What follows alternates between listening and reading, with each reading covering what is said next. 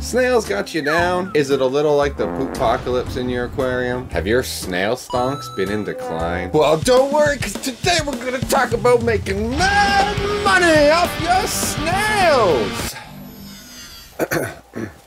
Hey there, thanks so much for joining me today. Aquarium snails can start to get out of hand if you don't have a plan to control their ever-growing population. Let's let's ditch this jacket, how about that? Oh. Some can even crowd your tank so much they eat all the available food source and start to die off. My favorite method of population control, and probably the reason you clicked on this video, is selling these happy little guys to other hobbyists. So it's now their problem. Before we make some money, make sure to hit that like button and subscribe if you haven't already so I can stop asking in every single video. All right, so selling snails. What to expect?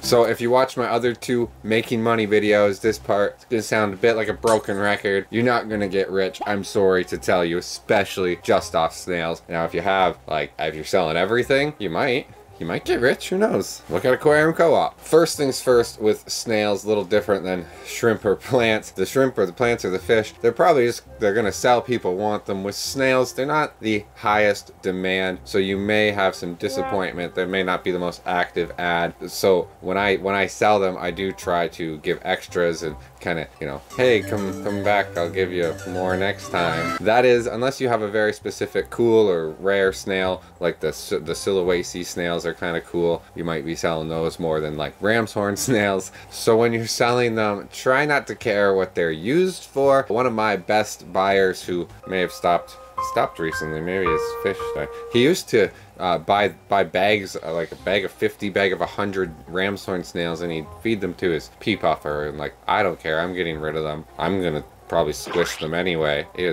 No, I won't. I don't squish snails. That is, I mean, unless you have a personal connection with your snails, like I don't know if you have mystery snails and you've named each one, maybe then you'd care a bit more. But for these little tiny little pest snails, Malaysian trumpet snails, ram's horn snails, pond snail, whatever, whatever you're trying to sell, that's Smaller? uh, don't care what they do otherwise you're not going to sell many. Trades trades trades i can't i can't stress this enough. Your snails are probably more valuable in a trade than they are cash value. You can trade a big bag of them for another like a big bag of pest snails for a couple like really cool snails. I've i've done that and that's down there. You could also get other plants shrimp you know other aquarium supplies. Who knows? Just be open to trades and the the world is your oyster is your snail. The world's your snail. Right. make sure for especially smaller ones you're selling them in groups. Selling one snail at a time you're not going to make a lot of money once again unless you have the rare or the cool ones that you could sell for like 10 or 15 dollars each. I sell mine in a minimum group of 10 and realistically i give them at least like 15 probably 20 for the 10 dollars that they spend 10 5 dollars that they spend. Because one I, I have so many snails and like i said they're lower demand so i just don't sell as many. And then I do want the customers to be impressed like when they open the bag like Oh, I only bought 10, but I got 20. That's this guy's really cool. I'm gonna go back to his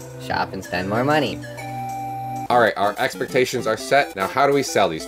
As I mentioned, they can be hard to sell because, well, a lot of people see them as a pest. They don't see them for the benefit that they are in the tank. The cleanup crew, the, the algae eating crew. Like, I, I used to not like snails, but now that I've had them for so long, like, I can't have a tank without snails. One, because they'll just get in anyway with my plants and stuff. And two, they're so helpful with keeping the tank cleaner than it would be. Like, if you have hair algae, just get some snails, some ram's horn snails. They'll dummy it. That said, as I've mentioned, easiest way to do this is your online listing. You know, it's easier than posting uh, for sale signs on local mailboxes. I, I really don't know how else you would sell it besides these apps nowadays. Uh, you could try going to your local fish store. They might take bulk snails because who knows what they're going to do with them, but they're not going to give you nearly the price that you would get to another hobbyist. Just fair warning. So when we make our online listing, obviously we have to explain what type of snail we have, you know, the color, like ram's horn, there's like six different colors, the species, etc. That's pretty straightforward, right? You're also going to want to explain how many they're getting. You know, when I do it, I do like ram's horn snails X10, and then, like I said, oh, yeah, I've been over that, but you got to explain how many they're getting for the price that you're posting on the ad. That's pretty common sense. Obviously, as I mentioned just right there, the price, how much you're selling them for, and then, as I've stated before, whether you're offering pickup or delivery or shipping, a local meetup, whatever you want to do in regards to actually handing the shrimp off, explain that in the post. Also, it's good to explain perhaps like nerite snails are a bit more sensitive, so you're going to want to explain the a brief kind of care description or a link to somewhere that has a care description for, for those types of snails just to entice the buyer to come to you like oh this person actually cares when it comes to the, the pest snails you may not need that much information and you may want to just sell more. Expanding on that, you're going to want to list like its eating habits, whether it eats live plants or not. That's really important. Like ram's horns, Malaysian trumpet snails, they don't eat live plants, but apple snails do. I believe nerite snails will eat certain live plants. So that's very important to some people. I like I have so many plants, I don't really want a snail eating them. I had I put an apple in here and he became a lawnmower, so that wasn't good. I had to remove him. And that's because I, I was actually told it didn't eat plants and then it clearly ate friggin' plants. Also breeding habits, like how it lays eggs with like with mystery snails, like the big clumps they do, the ram's horn snails, little thing like that. Because that's gonna give the buyer a bit of warning for when the snail does eventually start reproducing and then they won't be like, What the hell is this random glob of crap in my tank? and also, if you're selling something like a mystery snail that's not a hermaphroditic species, you're going to want to explain that they're going to need a male and a female for it to even lay eggs. So if they like bought a male from you, they'd be perfectly fine. The snail's not going to reproduce, you know? Just little tidbits like that.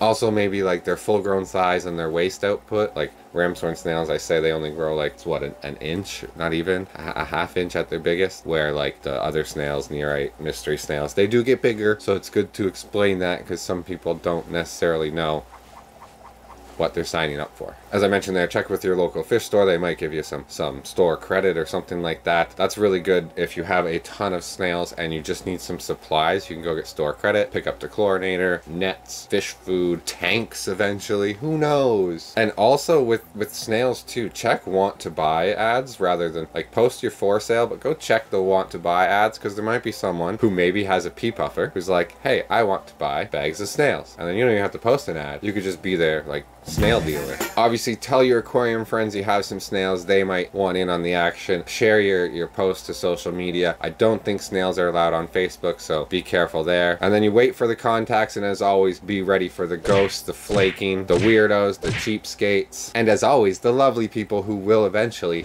buy your snails. People are going to ask some questions. Try and answer as much as you can. Don't get too annoyed with all the stupid things people ask you. So we got our ad, we got the word out. Let's not forget the little things.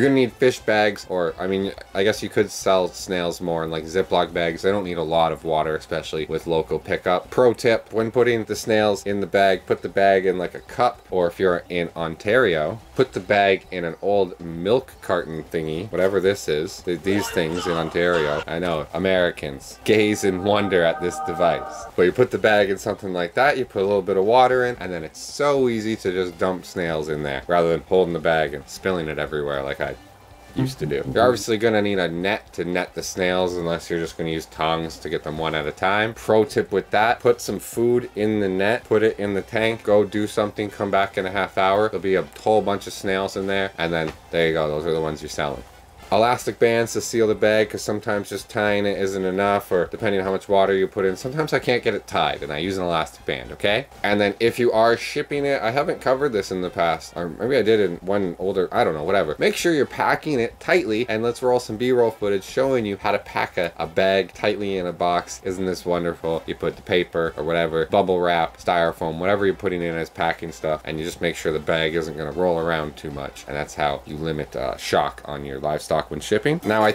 I think that's all you need to pack these guys for shipping, so what now? Time to get rich, bitch! In reality, what you're slowly doing here is building a customer base, building some customer trust, and then when you start to sell more things, which is kind of my end, if you haven't noticed, that's the end goal with this kind of how to make money series is we're selling more and more things and we're making more and more money. On top of the customer trust there, also a bit of a product catalog, you know, we've sold some shrimp, we've sold our plants, now we're selling some snails. Guess what's next? I bet you can't. If priced fairly, people will buy your snails. With the plants and the shrimp, I was really focused on not crashing the market. With the snails, kind of, you kind of just have to price them at what people will buy them for. I mean, that's why with if you check with your local fish store, they're gonna give you like, I don't know, five or 10 cents a snail, depending on the snail or whatever, where you might get like 50 cents a snail when you sell them. Otherwise, you might get even, you might get between that, you know, the price really does vary depending on the area. Even my snails at 50 cents each, I probably have to lower that in order to meet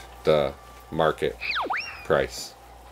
Yeah, economics. And make sure when people are buying from you, you're very polite and answer their questions. That's how you get repeat customers. As always, do what you're happy with. You can always reinvest as stated in past videos or just take the money and spend it on, I guess it's gas nowadays. That's what's really expensive, right? With this whole venture, you are the master of your own destiny. The sky is the limit. Some other lame cliche. Just really don't cause yourself any unnecessary stress if people are starting to get to you. Just take a break, chill. You don't have to sell them. You can just let your tanks be. Congratulations, you made it to the end of the video. You really, really help out the algorithm.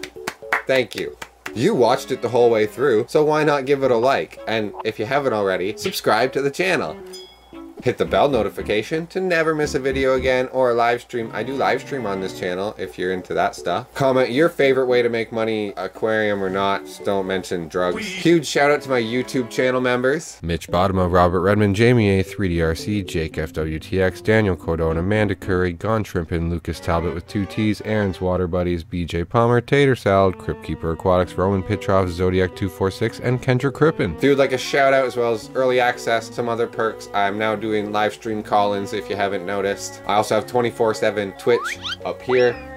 my hobby shop, uh, my PayPal, give me money, please. As well as some other stuff down there. I have a Facebook and stuff too. Thanks again for watching, and remember, until next time, keep your shrimp hands strong. Bye-bye now. Sn oh, no, your yeah. Snails got you down.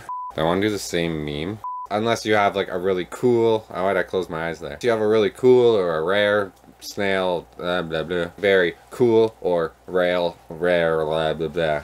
You can sell a big, or sell, you can trade a big bag of, I can't talk. So when we make our own list, who may ha maybe has a, it's time to get rich, bitch! Make sure when people are, uh, um, uh, um, uh, but when I'm, uh, uh, I, I, um, uh, of the, this, um, I, uh, uh, uh, and as I, um, uh, um, um, uh, cause that's, that's going to, uh, uh, uh, uh, uh, uh um, um, um, stop, uh, uh, uh, um, um. You suck.